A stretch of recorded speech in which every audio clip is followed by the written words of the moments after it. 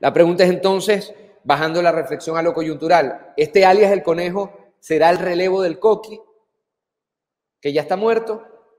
Lo cierto es, y esto es noticia de última hora, esto es noticia de última hora, em, en este momento las autoridades están a la casa de Carlos Enrique Gómez, alias El Conejo, quien opera una franquicia del tren de Aragua, megabanda delictiva, con ramificaciones en varios estados de Venezuela, así como en Colombia, Brasil y Chile.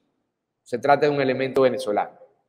Las actividades de este grupo delincuencial incluyen extorsión, secuestro, asesinato y narcotráfico.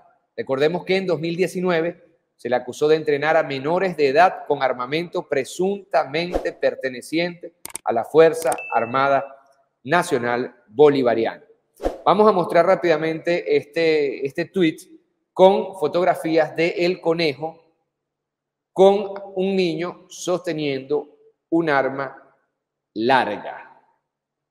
Miren qué terrible detalle. Esto es del periodista Eligio Rojas. Por cierto, Eligio Rojas mañana estará como invitado de Clodovaldo Hernández en su programa Cara a Cara. Es un gran honor para nosotros tener un periodista de este talante tan curtido en estos temas eh, en este momento. A ver, según la información hasta ahora, ahí dice, detalle, la organización delictiva de Carlos Conejo entrena menores de edad con armamento de la Fuerza Armada Nacional Bolivariana. La banda tiene su base de operaciones en las tejerías de Estado Aragua. Miren ustedes la fotografía. Vamos a, a mostrarla, por favor, equipo de producción. Ahí lo tienen ustedes. Esto no puede pasar en Venezuela. Esto no puede pasar en la República Bolivariana de Venezuela. Estos son imágenes colombianas. Estos son imágenes que deberían ser colombianas, pues desgraciadamente son armas y imágenes y niños en nuestro territorio. Esto debe ser atacado ya. Según la información hasta ahora disponible, el conejo habría ayudado, señoras y señores, a el coqui a ocultarse del radar de las autoridades, si bien ahora existe la sospecha de que en la zona también se encuentra alias el Vampi y alias el Galvis.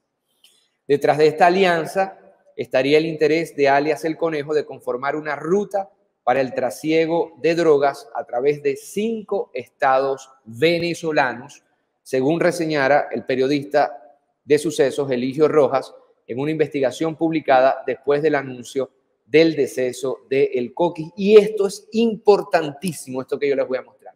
Es fundamental para entender de qué estamos hablando. Vamos con este titular, por favor, de la iguana.tv. Dice así, la idea, vamos a mostrarlo en la pantalla, por favor. La idea era empalmar con la cota 905. El conejo construía narcoruta que abarcaba cinco estados. Mañana vamos a tener más detalles, insisto yo, sobre esta información de primera mano, porque Clovaldo Hernández va a entrevistar a Eligio. Siempre vamos a ahondar en esta noticia, por favor, oído al tambor. Siempre siguiendo lo expresado por Eligio Rojas, el conejo tomó los cerros y construyó garitas para el negocio de la droga proveniente de Colombia. La idea era empalmar con la cota 905 y expandir la ruta del narcotráfico por los estados Carabobo, Miranda y Guárico.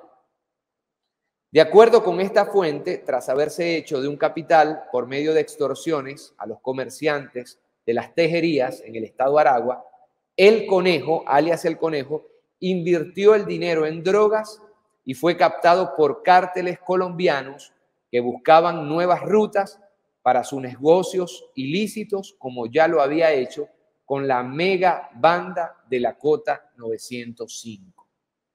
Señoras y señores, por aquí se nos puede ir la nación, por aquí se nos puede ir el Estado, por aquí se nos puede ir la República, por aquí se nos puede ir la patria. Demasiados casos en demasiado poco tiempo. Demasiados casos que hablan de una invasión paramilitar, así como yo lo titulé en mi libro con el maestro Luis Brito García. Y yo le colocaría, y en uno de los capítulos está escrito el adjetivo silenciosa, invasión silenciosa del paramilitarismo en Venezuela.